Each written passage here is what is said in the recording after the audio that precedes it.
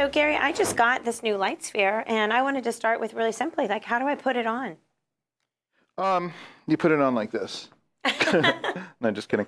Um, okay, first thing is, is if you have a flash that can swivel sideways, Yes. you want to actually turn it sideways like that. Um, and I'll show you why in just a second. But um, obviously we have four sizes of light spheres, and we just basically put it on, um, and you know, it just kind of stretches over the uh, thing. So sometimes you might want to have, have your hand inside it and put it on like that. But it's a good, nice, tight fit. Okay, so that's basically how that goes. Now, um, the reason why I turned the strobe sideways like that is because, and this is really cool, for vertical or horizontal, all I need to do is do this. so if oh, I'm I don't shooting, have to twist any. Right. So if I'm shooting vertical, I go like that. If I go horizontal, I go like that. And it's much faster. So if you're shooting an event. Um, with this one, uh, the photojournalist without the dome, in a lot of instances, you want to point it kind of 45 degrees forward because it has these really cool little ribs. And, it, and what happens is when you pop the flash, it lights up the ribs and it just basically kind of uh, gives it a bit more of a spread. With the dome on, um, you can go straight up and down all the time. I like shooting with the dome on like 100% of the time, but the reason why you take the dome off is for uh, super high ceilings. And you want to just like give a lot more light up there to kind of light up the background. That's basically what it's for. So without the dome, I'm I'm in a place with a really high ceiling, and then I go without the dome. That's what you would recommend then? Yeah, you know the fun thing is you want to experiment. That's Right. you look at the L- LCD and you kind of play with it. So that's that's really kind of the key is just kind of experiment, look at it, see what you like better because all the different cameras behave kind of differently. So Gary, I read somewhere that you wanted me to do something with the pull-out diffuser. What's that do? Well, anything that's going to soften the lighting is better, and some cameras have it and some don't, and either way it's fine. But this gives you a little bit more of a wide spread. So when the light goes up into it, this uh, the little diamond pattern here is going to go up, and it's going to send the light a lot more wider into the dome. Okay. So that's basically how that goes. The other thing that's cool about the dome is if you shoot outdoors. If you're shooting outdoors and you want to shoot direct, you just basically put it like this. And what happens is you can kind of see the pattern here. It'll really reduce the harshness and the contrast when it hits the subject. So it's a really nice way of shooting outdoors, open shade or in uh, direct backlight. Should make a really nice catch light too. And it makes a really nice catch light. Also, it really reduces red eye. Perfect. Yeah.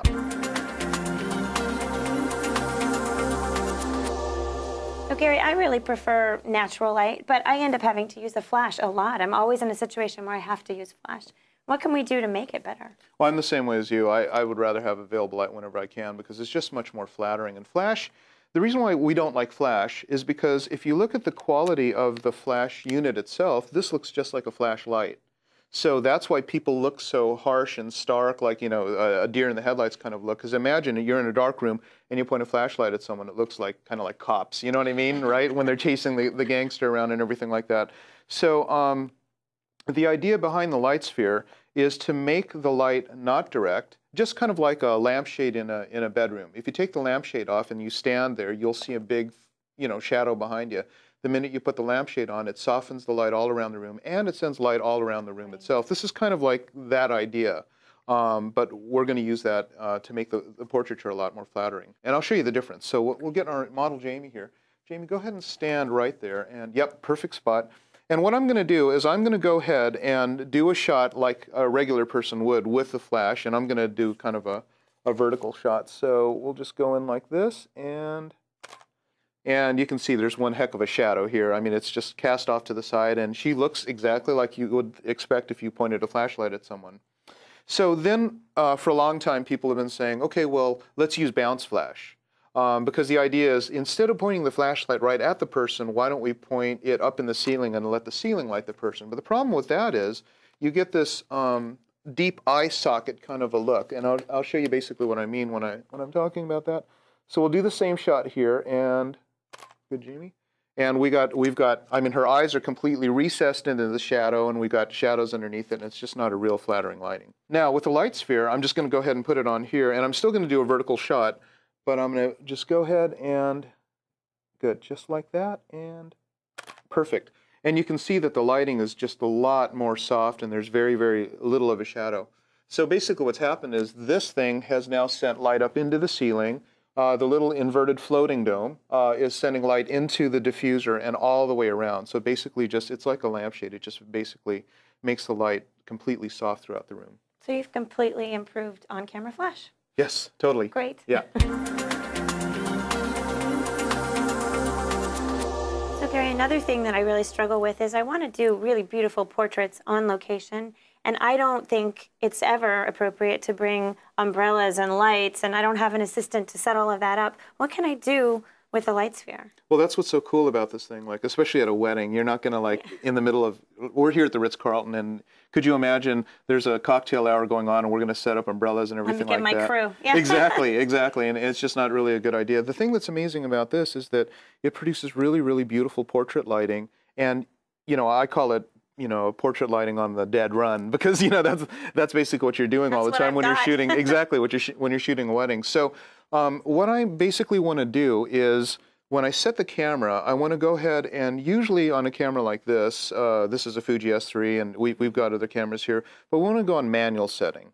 And manual setting allows us to control the aperture of the lens as well as the shutter speed in the background. If you have a lens with an open aperture, say f2.8, 3.5, you know, 4 you're starting to get into, it's getting a little bit tough.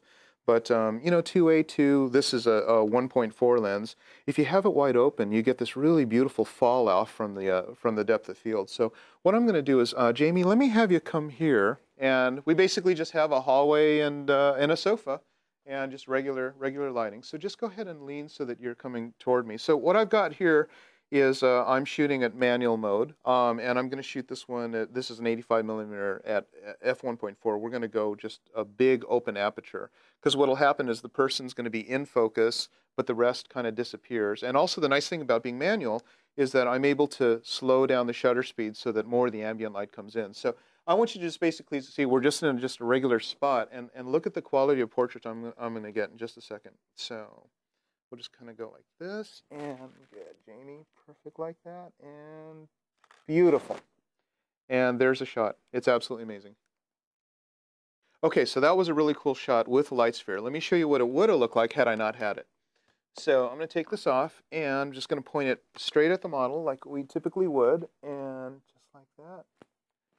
Good and perfect. And oh god, that's ugly.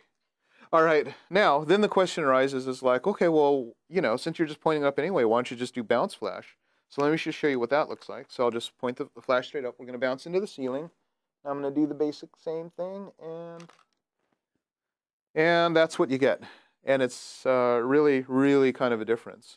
And so if you compare the three, it's it's like night and day. So, Gary, I can totally see the difference in those three. It's, it's like you took a studio quality portrait without the studio. It's amazing. I know exactly, and I, I don't even know how you would like shoot without it.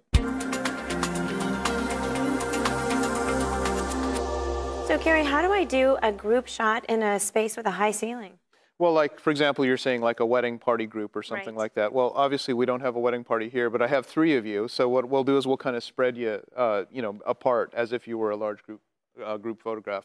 So basically, what's going to happen is in a situation like this where we have a ceiling that's super high, and you know we have people at kind of a distance. I'm going to go ahead and take the dome off because what that's going to do is that's going to make the ceiling much more bright and it's going to light up the background. Because a lot of times when you're taking group photographs in a church, the people are all lit up really nicely, but the back is really, really kind of super dark. So we're going to try to fix that. So what I'm going to do is I'm going to do one shot straightforward with flash, and then I'm going to do it with the light sphere pointing straight up. Okay, so we'll do the first one. And let's get uh, uh, Becker and Jamie, and you guys just go ahead and spread out as if you're like a 20-person group or something like that.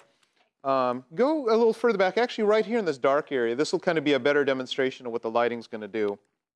I've got uh, on-camera direct flash, and I'm just going to go ahead and aim it at you guys right there, and looks like this. So it's really just kind of harsh and, and not that super good. Now, I'm going to go ahead and put the light sphere on. And in a situation like this, I'm going to go ahead and take it down to a slower shutter speed and also a wider aperture. F4 would be maybe as, as you know, big as I'd want to be. Uh, definitely don't want to do F8. Definitely don't want to do anything you know smaller than F8. 5, 6, 4 is better because when you have a group that, that that's that large, if you have a wide angle lens, you're, you're totally fine. So I'm going to point this thing straight up into the air just like that. And I'm going to do a shot like this and perfect. And uh, it's much more, and you'll see, as you can see, it lights up the room a lot better.